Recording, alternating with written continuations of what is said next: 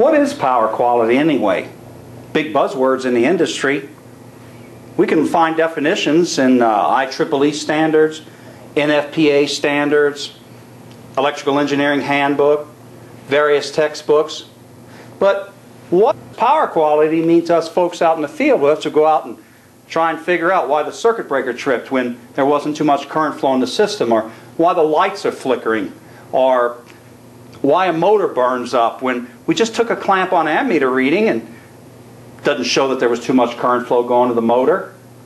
The chiller maybe suddenly has some control problems and we're getting high temperature alarms in the server room. Computers crash, lock up. We've got to go out and solve these problems. Inadvertent alarms and trips on PLCs and, and variable speed drives. Well, those could all be power, power quality problems. But here's the practical side of it. Power quality is the study of the voltage and the current sine waves that we apply to our equipment and that certainly apply to our premises distribution wiring system in our buildings as well. Now, if the equipment operates properly and the premises wiring system functions properly, we might say, oh, we've got good power quality. But if the equipment runs into some of those problems we were just talking about, or if we have problems in the wiring system, such as neutrals overheating or transformers burning up, then we might say, oh, we have poor power quality. And when we talk about power quality and, and uh, studying these sine waves, what are we really talking about on the sine waves? Well, what we want to know is, are our sine waves nice and smooth and clean? Do we have good clean power we're applying in our distribution system into our equipment? Or do we have some notches maybe along the sine wave? Or is it distorted in any way, jagged? Is it flat across the top? Those could be problems that could cause misoperation of our equipment. Do we have any unwanted currents flowing in our system at frequencies other than 60 hertz?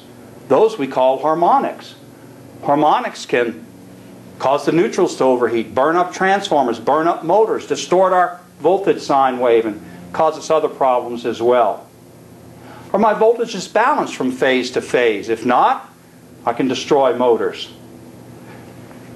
Are the magnitude of my voltages, are they too high or are they too low?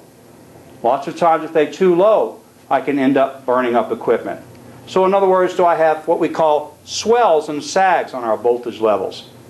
Well, here's the rub. A lot of those problems that we're talking about that we have to go out and find, we can't locate them with the digital multimeter. Even a good quality digital multimeter, the best quality we can buy, can't find a lot of those problems like, like uh, harmonics and transient conditions on our voltage sine wave and so forth. So how are we going to locate those? We've got to go one step further. We need something called a power quality analyzer. Uh, don't worry, here's the good news. It's not rocket science.